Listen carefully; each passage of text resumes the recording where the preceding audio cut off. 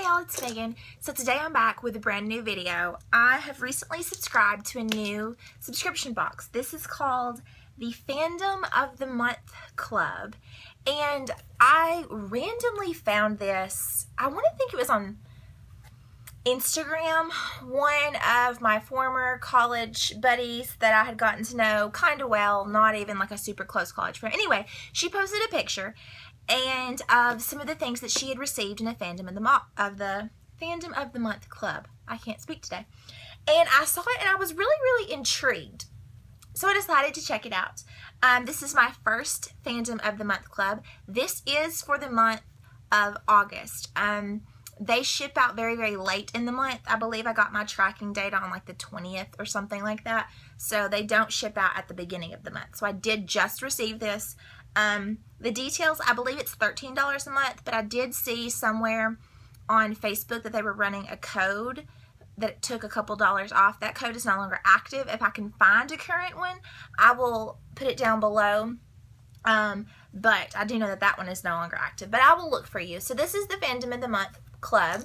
Um, it's a very, very tiny box, $13, and it is jewelry um, based around a particular fandom what got me really interested was they have had two Harry Potters, they have had a Divergent, they've had a Star Wars, um, they had a fairy tale one.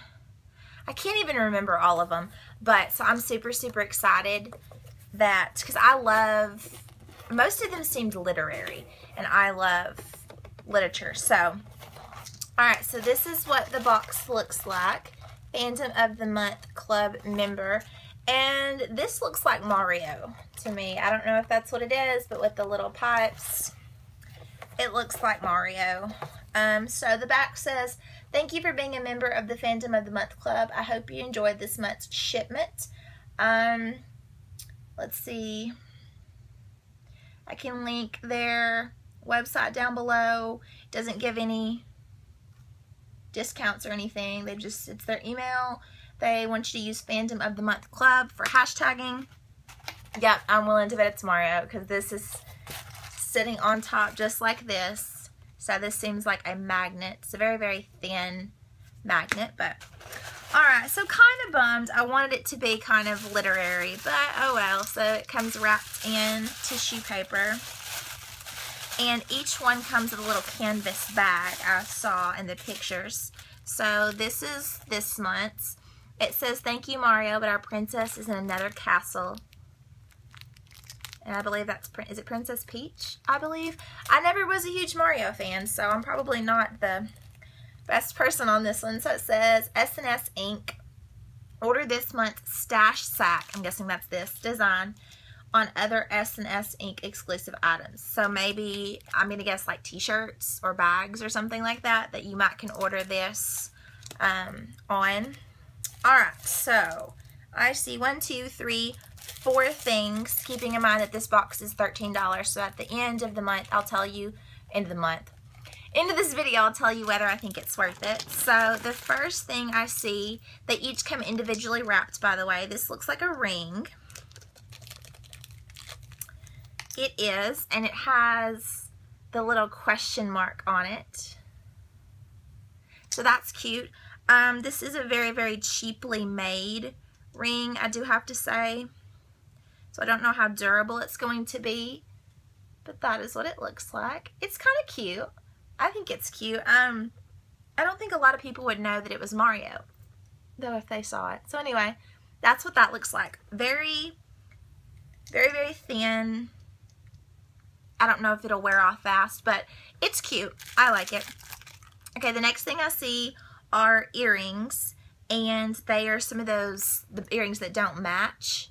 So this is like a little mushroom and a star and they have cute little eyes. Um, these are okay.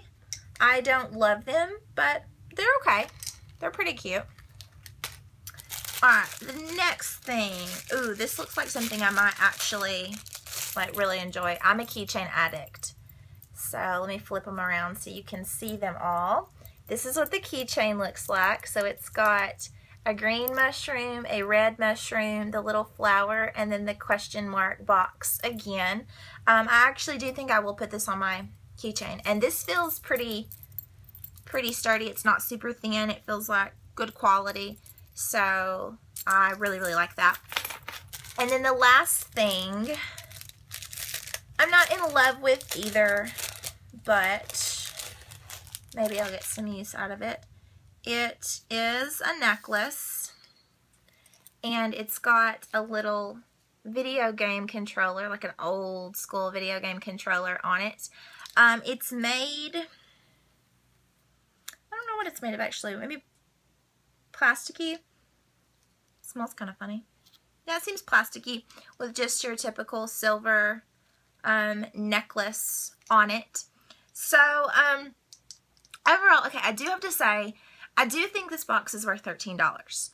I'm not technically thrilled with this month's theme. And I know a lot of people will love this month's theme because Mario is loved by lots and lots of people. It's just I never was a particular Mario fan. Um, I will wear these things, and if I don't specifically wear them, I will pass them along. I know several people who love Mario, and I can stash these away for Christmas gifts or birthday gifts or something that they would, you know, a little surprise that they would enjoy. So I'm not displeased with the things for $13. I just don't love the theme. So I am going to still hold on to it though, because like I said, the previous months I had seen were mostly literary and I'm a literary nerd. I love all things like that. I really wish I could have gotten in on the Harry Potter one or the Divergent one or the Star Wars one.